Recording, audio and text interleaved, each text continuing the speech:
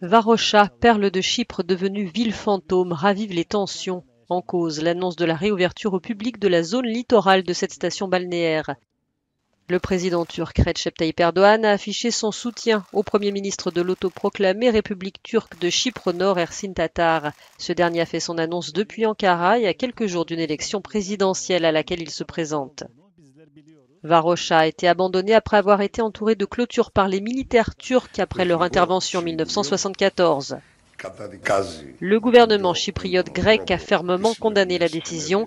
Cette annonce est une violation des résolutions de l'ONU, a souligné le président de la République de Chypre, Nikos Anastasiades. La République de Chypre prône soit une restitution pure et simple de Varosha, soit son administration par l'ONU. L'Union européenne a sommé mercredi la Turquie de cesser d'attiser les tensions à Chypre.